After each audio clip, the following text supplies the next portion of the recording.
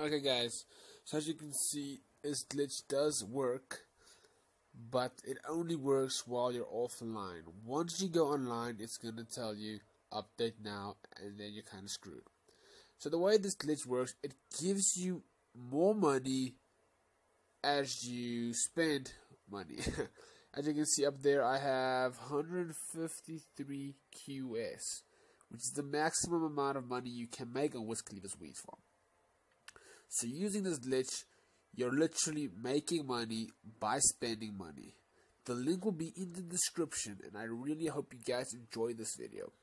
We're doing a giveaway. It is a Huawei P10 giveaway and I really think all of you should get involved. All you gotta do is hit that subscribe button, hit that thumbs up button, leave a comment, and that's all you gotta do. This has been Squally Per 17, and did I leave K9?